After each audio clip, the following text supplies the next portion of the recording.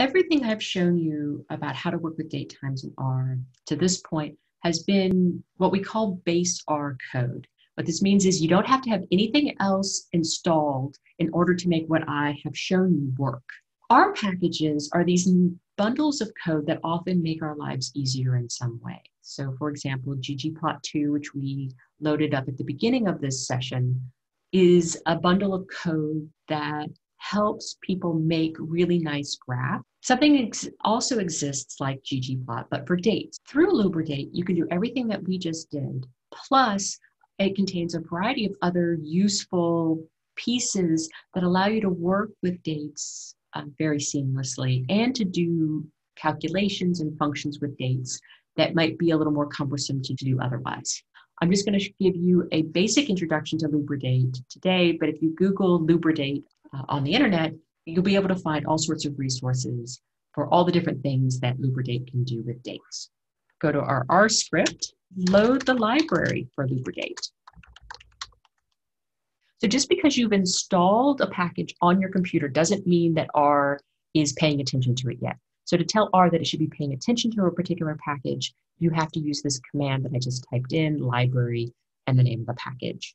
I'm going to run this. One of the nice things about Lubridate is that unlike with POSIX and AsDate, uh, we don't necessarily have to tell it the format that the data is in. We simply have to use the right function that has the correct structure for what order that information is available. Let's see this in operation, and I think it's going to make a lot more sense. So let's start by just creating a variable. I'm going to call it love for fun. And then I'm going to specify the package that the function I want to use is coming from. This is not a necessary step, but it can be a nice bookkeeping step to help specify where a function is coming from if it's not one of the base R functions. And then the function I'm going to use is the year, month, day function, because that's the order that my date is being, has the information presented the year first, the month, and then the day. And now I'm going to tell it to go to the daily file and pull down that date information. And this is all I have to give it. Except I should really load my package first, right?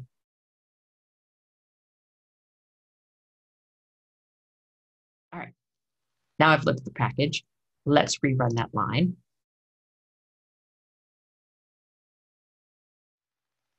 Really? Oh.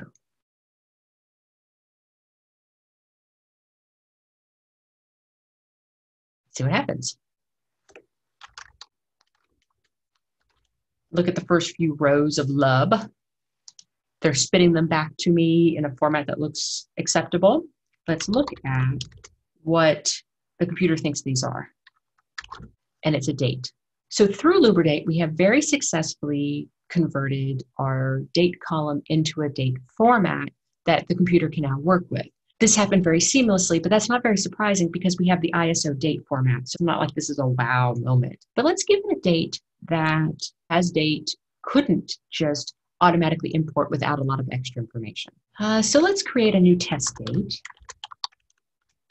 And we'll set it up with the year first, the month second, and the day last. Ooh, I would like to throw in a comma here just to make things a little more complicated for the computer. All right, let's save that. And now let's run, and now let's apply that year, month, day function to this date and see how it handles it.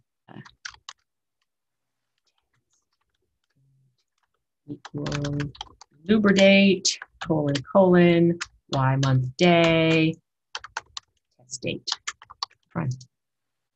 So it ran it without giving us any errors. And if we look over here in the environment window, what we see is that it has extracted the information, it has put it in the ISO format, and it has done so without me having to tell it anything other than the year is the first piece of information, the month is the second piece of information, and the day will be the third piece of information and it knows what it's looking for and is able to do all of that without you having to specify exactly what that format looks like, which is pretty sweet. We can also use a different function that does the same thing with date times. So let's do that.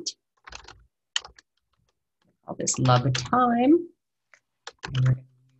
date, colon, colon. And in this case, the structure of our data is year, month, day, hour, minute. And so that's the function we're going to use. Year, month, date, underscore, hour, minute. We will give it our date time data and that date time column. When we did just this without adding any type of formatting, POSIX couldn't handle it. We had to specify the format for POSIX to work. Here, let's see what happens when we don't do that. Run this line. Let's look at the head of love time. And what we see is that it has extracted all of that.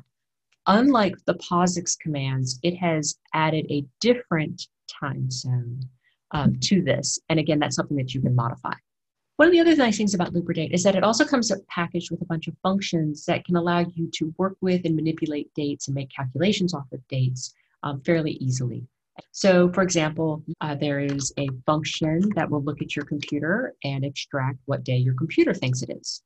There are functions that allow you to take a date and add a certain number of days to it. So in this case, I'm going to add five days to a particular date, which can be useful if what you're trying to do is you know a certain date that something happened and you want to see what the data looks like five days after that particular date. And so there's all these kind of cute little functions associated with Lubridate that allow you to do all of these little manipulations with dates that can be really useful under certain circumstances, uh, but that coding for yourself might be a little laborious. Whether you use Lubridates or AsDate or POSIX, um, it really is up to you and what is useful for you and what works for your context. But these series of functions and packages are the workforce of working with dates and times in R. And if you're going to be working with time series in the future, knowing how to work with dates and times and format them appropriately can be really useful. All right,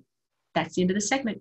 If you have any questions about this segment of material, anything that didn't work for you, anything that you're curious about uh, for your own research that you may have questions about, feel free to come to the Zoom class on Thursday and I will be there to answer any questions that anyone has. So see you then.